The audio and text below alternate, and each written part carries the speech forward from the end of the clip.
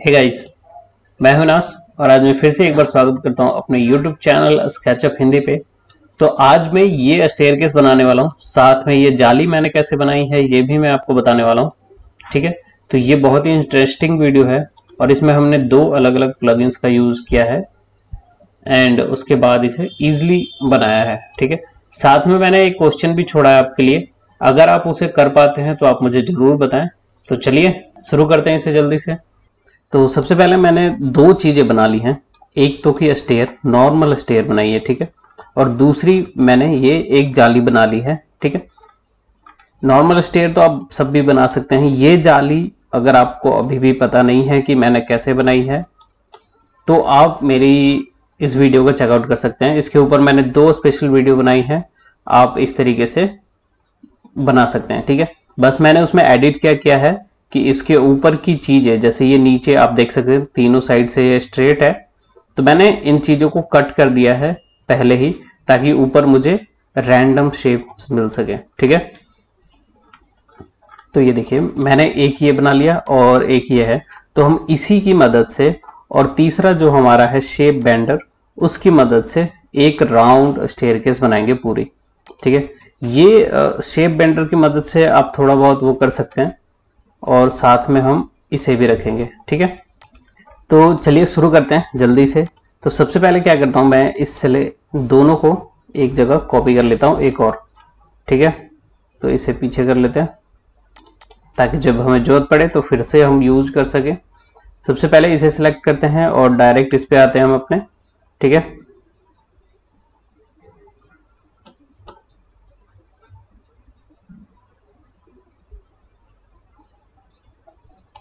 इस प्लगइन का नाम है ट्रू बैंड ठीक है? तो इसके बाद आपको इसे सेंटर से सिलेक्ट करना है और आप देखिए, इस तरीके से आप इसे खींच सकते हैं, ठीक है? मैक्सिमम आप राउंड स्टेयर बना सकते हैं। मैं इसे यहाँ पे कमिट करूँगा तो आप देख सकते हैं, ये पूरी तरीके से राउंड है, ठीक है? 360 जहाँ से आपने स्टार्ट किया, वहाँ से बना सकते हैं और उससे कम आप जैसे चाहें वैसे बना सकते हैं, ठीक है? फिर से हम एक बार कर लेते हैं इसे। तो ये देखिए 360 आप देखेंगे साथ में ऊपर से तो आपको आइडिया मिलेगा। ये देखिए, नीचे एंगल भी साथ के साथ आपको दिख रहा है कि कितने का एंगल बन रहा है। तो मैं इसे क्या कर रहा हूँ यहाँ पे कि 300 का बना लेते हैं। मैं 300 एंटर करूँगा और राइट क्लिक करके कमिट करूँगा, ठीक है? तो ये हमारा बन गया। स्टेयर केस तो इजिली बन गया, ठीक है? अब रह गया है इस जाली को इसके साथ में कैसे हम सेट कर सकते हैं, ठीक है?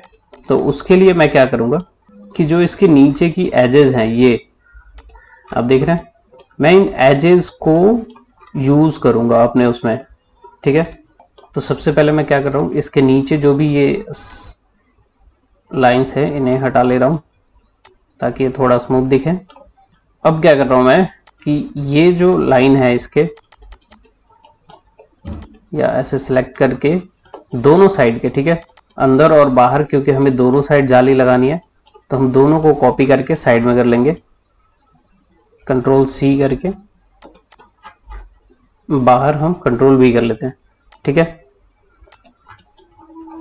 अब क्या करना है कि इस से इनसे अलग करना है, क्योंकि हमें स्टेप्स की ज़रूरत नहीं है, हमें सिर्फ़ नीचे वाला आर्च चाहिए।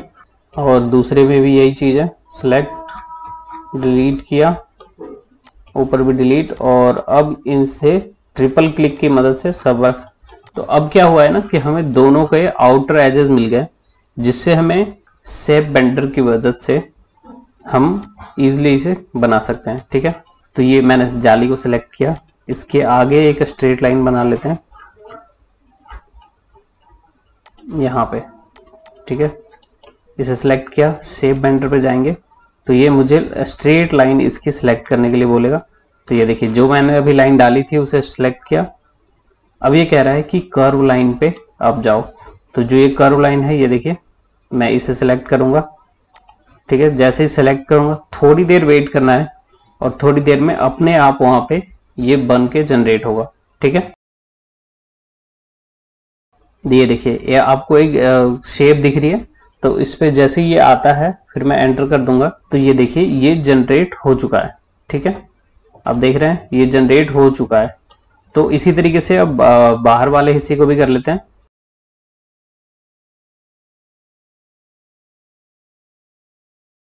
तो ये देखिए, ये भी बन चुका है, ठीक है? अब इनर और आउटर मेरे पास सेप्स भी बन चुके हैं। मैं इन्हें क्या करता हूँ, थोड़े जो स्मूथ लग रहे हैं, मैं इनके एजेस को शार्प कर देता हूँ, ठीक है? तो ये देखिए, अभी थोड़ा सा अजीब लग रहा है, क्योंकि लाइंस हैं, कोई प्रॉब्लम नहीं है। इन दोनों को हम ग्रुप बना लेते हैं पहले।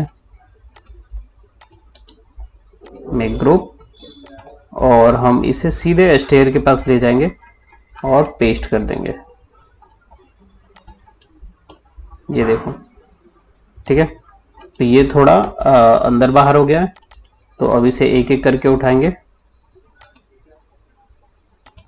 और थोड़ा सा आपको हो सकता है स्केल करना पड़े या एडिट वगैरह करना पड़े तो वो आप कर सकते हैं क्योंकि आपको सिर्फ़ दिखाना है ठीक है? आपको सिर्फ़ क्लाइंट को एक तरीके से समझाना होता है यहाँ पे कि हम क्या कर रहे हैं। ठीक है? तो ये देखिए, ये दोनों तरीके से सेट हो चुका है।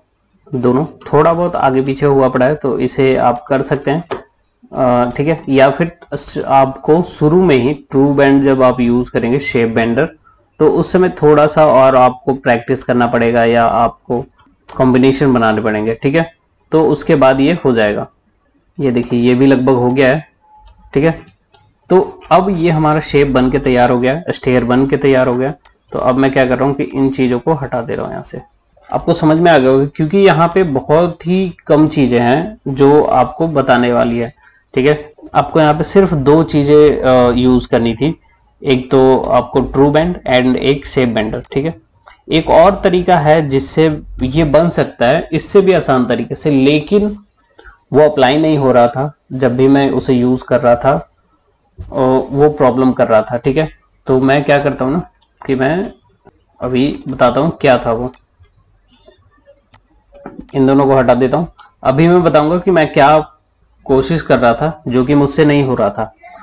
आप अपने लैपटॉप में करके देखें या अपने कंप्यूटर में करके देखें, अगर वो एक बार में हो जाता है तो हमें इतनी झंझट करने की भी ज़रूरत नहीं पड़ेगी, ठीक है? तो अभी सबसे पहले मैं बता देता हूँ कि वो क्या चीज़ है, ठीक है?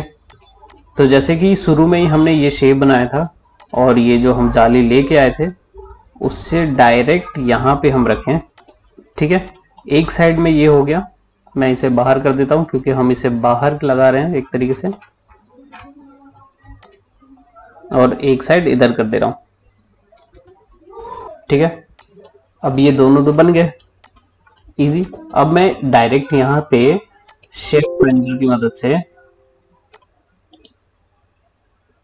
मेक कंपोनेंट कर लेते हैं क्रिएट ठीक है?